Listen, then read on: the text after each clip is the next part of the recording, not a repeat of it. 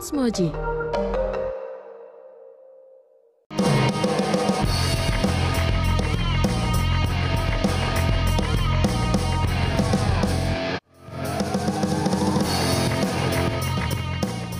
Hi, hi. Good morning, Mojibani. Jelang kick-off Piala Dunia U17 2023 pada 10 November nanti, FIFA mengaku puas dengan persiapan yang dilakukan oleh Indonesia. Mereka senang dengan semua aspek persiapan yang dilakukan Indonesia, mulai dari acara pembukaan hingga kesiapan venue serta acara pendukung lainnya. Nah, Mojibadi, mari kita semua doakan agar acara dan pertandingan Piala Dunia U17 2023 bisa berjalan dengan lancar. Sama saya Dot Vidyadi dan inilah Moji Sport selengkapnya. Kita awali Moji Sport kali ini dari Liga Champions Eropa 2023-2024 yang telah berlangsung dini hari tadi.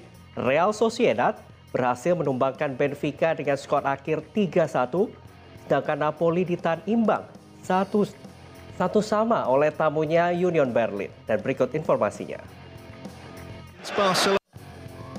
Ya Mujibadi, sejarah baru tercipta di Liga Champions. PP sukses menyerangkan satu gol saat Porto berhadapan dengan Antwerp. Baik asal Portugal itu menjadi pencetak gol tertua di Liga Champions. Ya sementara dari Liga Champions Asia 2023-2024, Al Nassr meraih kemenangan keempat dalam lanjutan pertandingan di Grup E Meski tak diperkuat mega bintang Cristiano Ronaldo, Al Nassr mampu menang tipis 3-2 atas Al Duhail. Kita ke informasi berikutnya, Manchester United dilaporkan tengah mengincar back baru untuk mengisi lini pertahanan mereka yang sering kosong akibat cedera. Terbaru, setan merah semakin dekat untuk merekrut Giorgio Scalvini.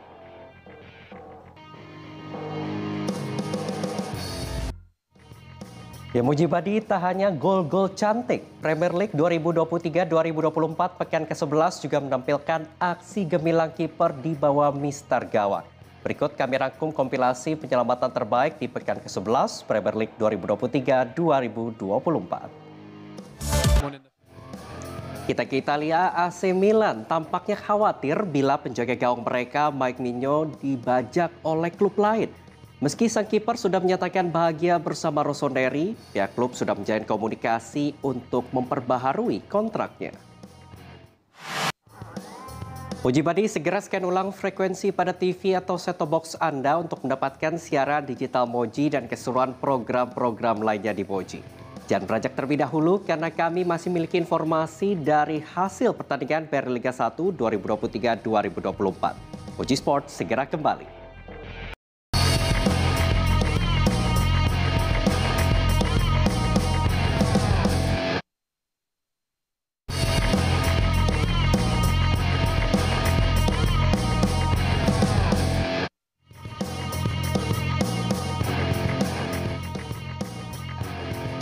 Anda masih menyaksikan Moji Sport bersama saya Dot Vidiadi. Moji Badi sejumlah pertandingan seru dari pekan ke-19 BRI Liga 1 2023-2024 telah berlangsung kemarin. Berikut rangkuman hasil pertandingannya untuk Anda. Kita ke informasi berikutnya, sejumlah tim menggelar latihan intensif jelang bergulirnya Piala Dunia U17 2023 termasuk Timnas Indonesia. Selain adaptasi cuaca, latihan juga untuk mematangkan strategi jelang laga perdana.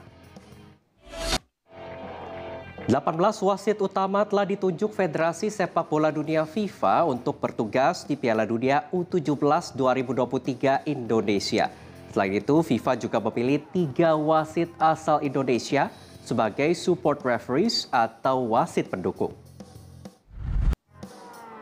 Dan Mojibadi jangan ke mana-mana karena setelah yang berikut ini Moji Sport masih akan kembali dengan informasi dari Livoli Divisi Utama 2023. Tetaplah bersama kami di Moji Sport.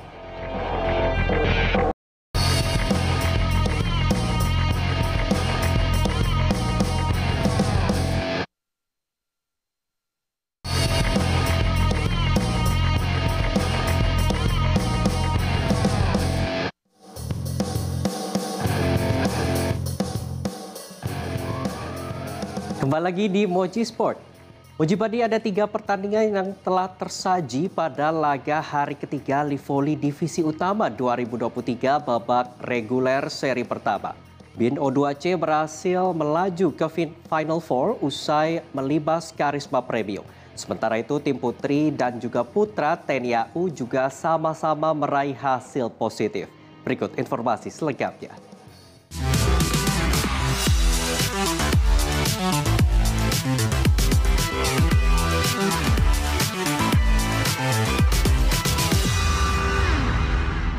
Hari ketiga dari Livoli Divisi Utama 2023, Volley dibanjakan dengan pertandingan yang ketat. Gak heran karena tiket menuju babak Final Four menjadi pertaruhannya. Pada pertandingan antara Karisma Premium melawan Bin O2C, Bin O2C sempat memimpin di dua set awal. Namun Karisma Premium dapat membalikan keadaan di set ketiga dan keempat. Namun pada akhirnya Karisma Premium harus mengakui kekuatan dari Bin O2C setelah kalah 2-3 Bin O2C berhasil menang dengan skor 18-25, 20-25, 25-16, 25-19, 14-16. Dan selanjutnya pertandingan kedua pun gak kalah seru. Laga antara dua tim putri TNI yakni TNI AU melawan TNI AL dimenangkan dengan mudah oleh TNI AU. TNI AU berhasil mengamankan tiket pertama ke babak Final Four setelah menang 3-0 atas TNI AL. Sementara pada laga terakhir antara TNI AU melawan Samator, pertandingan berhasil dimenangkan 3-1 oleh TNI AU. Jangan sampai Mojibadi melewatkan rangkaian pertandingan di hari Kamis ini. Karena ada laga yang menentukan tim-tim mana saja yang akan memperoleh tiket menuju ke babak Final Four. Di pertandingan pertama dari sektor putri, ada laga penentu antara Bin O2C melawan TNI AL untuk memperoleh tiket ke babak Final Four menemani TNI AU.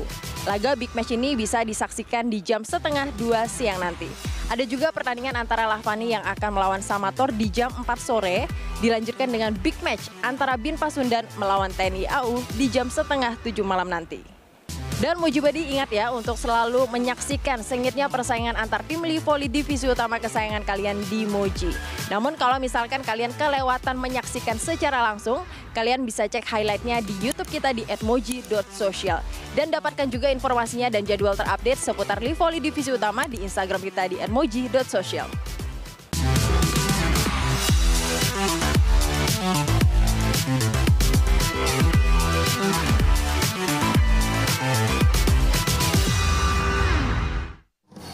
Masih seputar voli, Liga Voli Korea Selatan musim 2023-2024 telah resmi merampungkan rangkaian pertandingan di putaran pertama pada hari Selasa 7 November 2023. Di mana putaran pertama Filik ditutup oleh pertandingan antara JS Caltech Seoul Kicks dan juga Jimcheon Korea Expressway High Pass.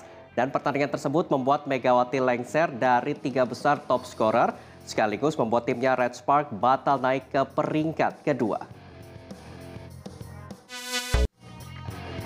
Dan setelah ini akan hadir informasi dari dari Korea Masters 2023 di mana Merah Putih menempatkan empat wakilnya di babak 16 besar. Informasinya akan hadir sesaat lagi.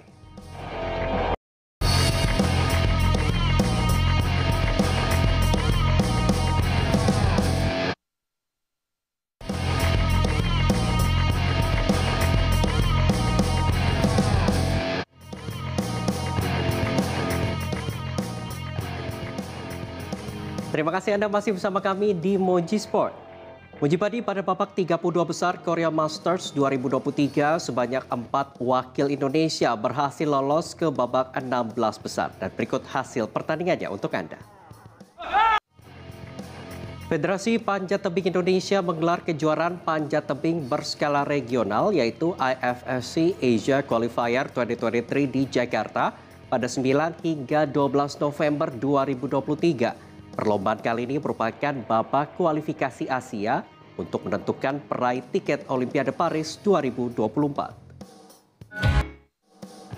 Beralih ke MotoGP, pembalap Red Bull KTM Brad Binder mencatatkan rekor sebagai pembalap Afrika Selatan dengan podium terbanyak yang memecahkan rekor yang sebelumnya dipegang oleh Paddy Driver pada tahun 1965. Dan Moji Badi jangan lewatkan pertandingan Livoli Divisi Utama 2023 hari ini mulai pukul 13.30 waktu Indonesia Barat live dan eksklusif di Moji dan juga video. Ya dan Moji Badi semua berita olahraga terupdate sudah kami sajikan khusus untuk Anda. Terima kasih Anda sudah menyaksikan Moji Sport dan saya Dot Vidiani pamit undur diri. Kita jumpa lagi dalam Moji Sport berikutnya tentunya hanya di Moji Seru banget.